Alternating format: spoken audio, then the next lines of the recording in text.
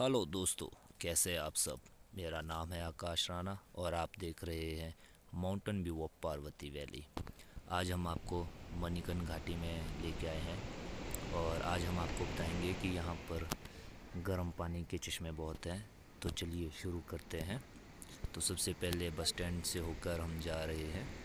तो सबसे पहले यहाँ पर मंदिर बहुत प्रसिद्ध काफ़ी मात्रा में मिलेंगे देखने को आपको। ये सबसे पहले नैना माता का मंदिर और ये सामने मार्केट और आप देख सकते हैं सामने रघुनाथ जी का मंदिर भी है।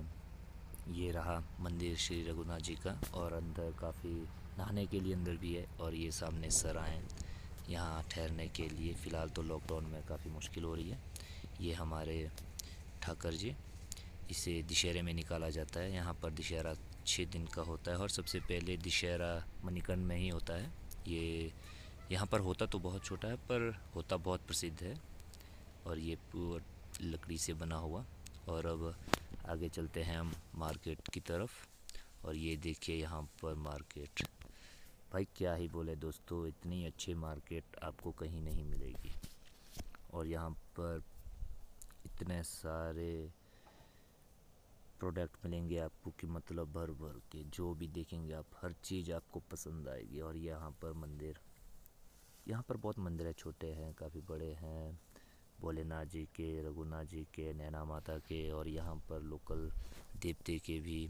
यहाँ पर आप, आपको मैं आगे जगह भी दिखाऊँगा लोकल देवते की। और यहाँ पर फ़िलहाल तो लॉकडाउन की वजह से कुछ मार्केट बंद है तो कुछ खुली हुई हैं। धीरे धीरे टूरिस्ट भी आना शुरू हो गया है। मार्केट यहाँ पर बहुत लंबी, काफ़ी अच्छी है।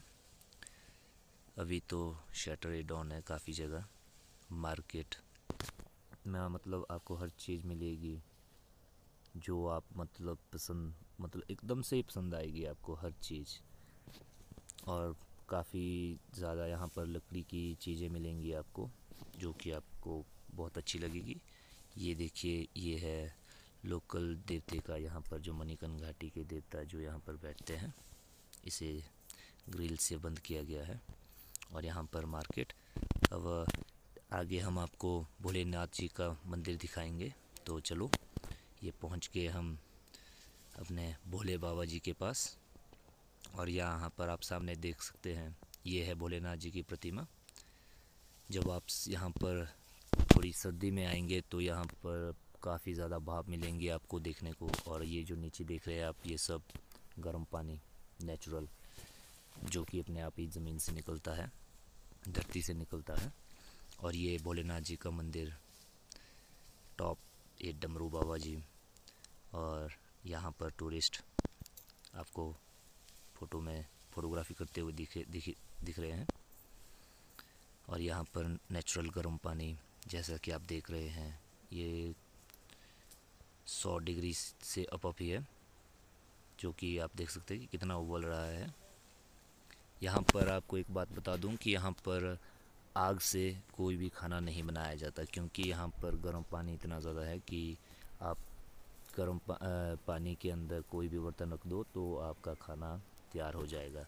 यहाँ पर बड़े बड़े लंगर लगे हुए हैं जिसमें कि खाना पानी से ही बनाया जाता है क्योंकि आप देख सकते हैं अभी पानी में मटके रखे हुए हैं तो इसके अंदर भी कुछ ना कुछ चीज़ तो बन रही है। पानी देख सकते हैं आप कितना उबल रहा है। सर्दी में यहाँ पर इतनी धुंध पड़ जाती है कि गर्म पानी की वजह से, जैसा कि आप देख सकते हैं कि बहुत मज़ा आता है देखने का, बहुत ही ज़्यादा। ये भोलेनाथ की प्रतिमा और साथ में ये आप मटके देख सकते हैं। साथ में मंदिर। ये भोलेनाथ जी का मंदिर और साथ में नंदी बैल जी।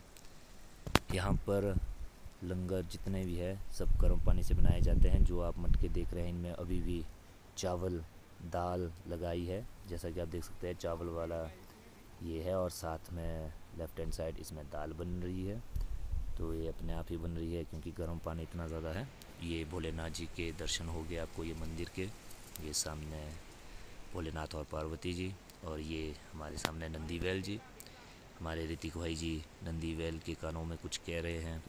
कहते हैं कि यहाँ पर जितनी भी आपकी मनोकामनाएँ होती है तो आप नंदी वैल जी के कानों में कुछ आराम से कहकर बोलेंगे तो नंदी वैल जी ये सारी बातें भोलेनाथ जी के पास पहुँचा कर बताते हैं। कहते हैं कि मनोकामनाएँ पूरी होती है नंदी वैल जी की, नंदी जी के कानों में बोलने से, क्योंकि वो भोलेनाथ जी के पास हर बात पहुँचा देते हैं। तो आगे हम आपको अब गुरुद्वारे की तरफ़ लेके जाएँगे, जो जैसा कि आप देख सकते हैं। यहाँ पर सर्दी में इतनी हीट होती है कि आप मतलब इधर ही इन्हीं, इसी टाइल के साथ ही बैठ सकते चिपक के। मतलब इतनी हीट होती है इन दीवारों में, सर्दी में। अभी यहाँ पर काम चला हुआ थोड़ा कंस्ट्रक्शन का।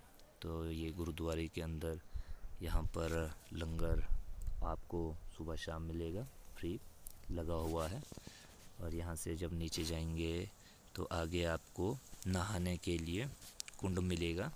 यहाँ पर बहुत से कुंड है, होटल में, रेस्टोरेंट में, हर जगह मिलेंगे आपको कुंड।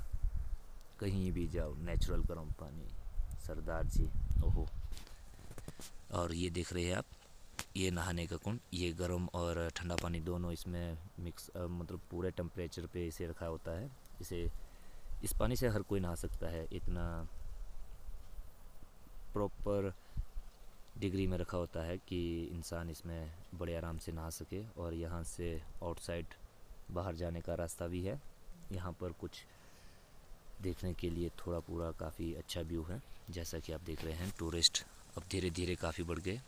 मास्क अभी किसी के मुँह में है नहीं और टूरिस्ट फोटोग्राफी में बहुत ज़्यादा बिज़ी यहाँ पर पार्वती जी नदी नीचे को ये सामने पार्किंग और यहाँ पर ये थोड़ी सी जगह जो गुरुद्वारे में है मतलब पार्वती के ऊपर जो पुल बना हुआ है छोटा सा यहाँ पर बहुत अच्छा व्यू देखने को मिलेगा आपको, जैसा आप देख रहे हैं, ये मणिकर्ण, ये पार्वती, ये गर्म पानी निकल रहा हुआ बाहर।